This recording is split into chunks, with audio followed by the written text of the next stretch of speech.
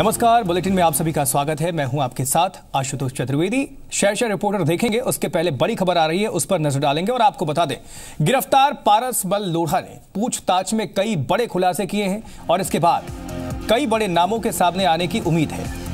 22 दिसंबर को ईडी ने लोढ़ा को गिरफ़्तार किया था, जो सात दिनों की हिरासत में है। आरोप है कि रोहित टंडन और शेखर रेड्डी के काले धन को सफ़ेद करने में पारसमल लोढ़ा ने मदद की थी।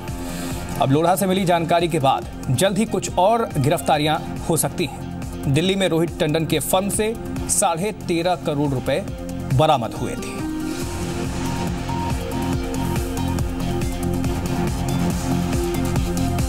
तो गिरफ़्तार पारसमल लोढ़ा ने पूछताछ में कई बड़े खुलासे किए हैं।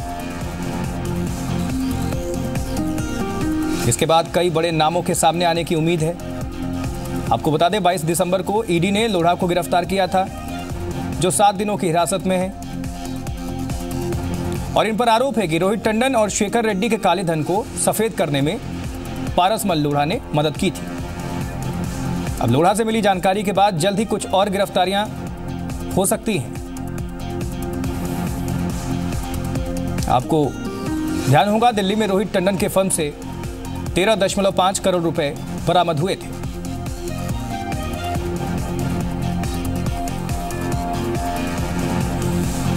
तो पारसमल लोढ़ा ने पूछताछ में कई बड़े खुलासे किए हैं। अब मुनासिब है कि कुछ और बड़े नाम सामने आए।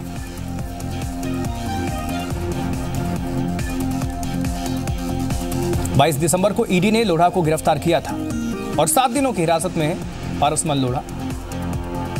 रोहित टंडन और शेखर रेड्डी के काले धन को सफ़ेद करने में पारसमल लोढ़ा ने मदद की थी। लोढ़ा से मिली जानकारी के बाद जल्द ही कुछ और गिरफ्तारियाँ हो सकती हैं। दिल्ली में रोहित टंडन के फर्म से साढ़े तेरह करोड़ रुपए बरामद हुए थे। जितेंद्र शर्मा हमारे साथ, हमारे संवाददाता जुड़ चुके हैं। जितेंद्र, क्या कुछ खुलासे हुए हैं? आपके पास क्या इनपुट हैं क्या जानकारी मिल रही है?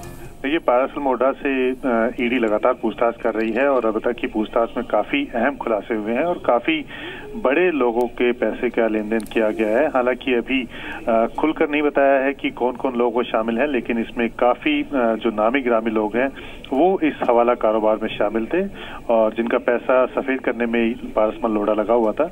और हो सकता है कि आने वाले कुछ दिनों में ही जल्द ही कुछ और गिरफ्तारियाँ हो सकती है। रोहित टंडन से लगातार पूछताछ की जा रही है। टीएनटी लॉ फर्म के वो मालिक हैं।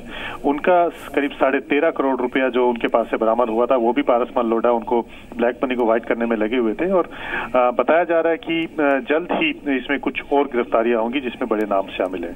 बहुत शुक्रिया जितेंद्र, आपका इस जानकारी के लिए।